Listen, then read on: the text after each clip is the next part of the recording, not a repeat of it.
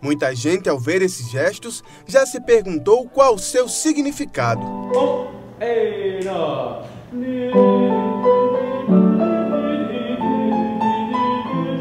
O trabalho gestual de um regente representa as técnicas estudadas por ele para sua formação. Aquilo que a gente vê no palco, aquela, o gesto é apenas a exteriorização de todo um processo que antecedeu a performance e o ensaio.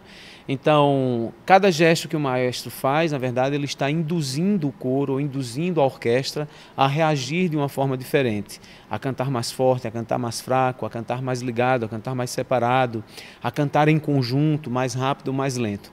Então, na verdade, aquele trabalho todo, toda aquela suadeira que o maestro tem, eu diria que é, na verdade, 20 ou 30% de todo o trabalho que ele tem que ter antes de subir ao palco. O trabalho que Vladimir fala é o aprendizado das diferentes disciplinas estudadas durante os quatro anos do curso de regência, uma das habilitações do bacharelado em música. A gente estuda é, inicialmente a técnica regencial, que é a, o que a gente chama de técnica gestual, né, para definir essas estruturas e deixar isso bem é, internalizado. É preciso estudar bastante matérias teóricas, instrumentos, canto, violino, piano, a conhecer bastante de solfejo e história da música. Além disso, para a conclusão do curso é necessário a produção de um TCC, que consiste em um trabalho escrito e na regência de um recital relacionado ao tema estudado. O TCC, que é o trabalho de conclusão de curso, consiste exatamente na elaboração de um trabalho teórico, pode ser histórico, analítico, pedagógico, uma proposta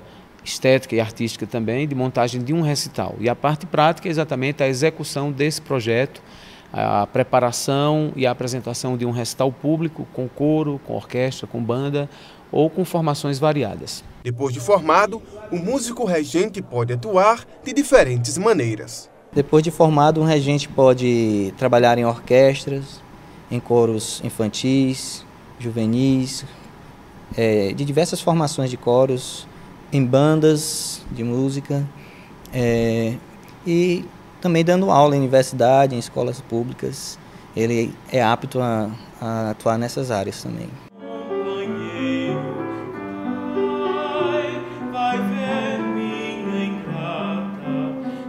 Este semestre, Campina Grande ganhou três desses profissionais, recém-concluintes do curso de bacharelado em música da UFCG os únicos formados em instituição pública na Paraíba até o momento.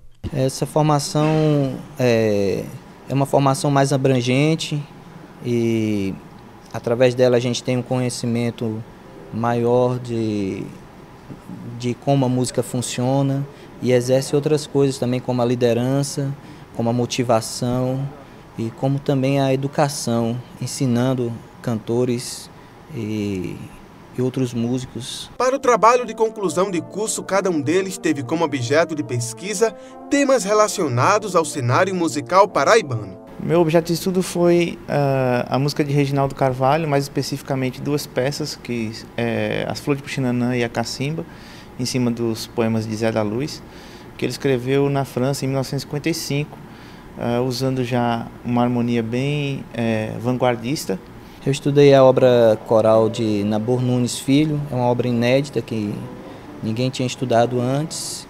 Ele é um compositor daqui da Paraíba, nasceu em Itabaiana em 1944 e fez uma vasta obra coral usando temas regionais da nossa terra, música modal, ritmos como baião, shot e tudo isso feito para um ambiente de música sacra.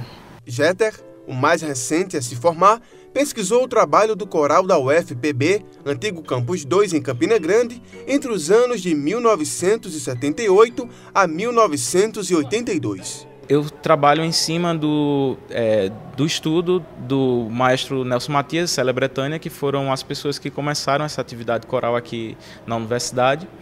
E eu trabalho o aspecto educacional deles, o aspecto social, é, o tipo de trabalho que desenvolveu, quem foram essas pessoas. Eu, eu é, trago à tona a história deles, então meu trabalho é basicamente em cima disso.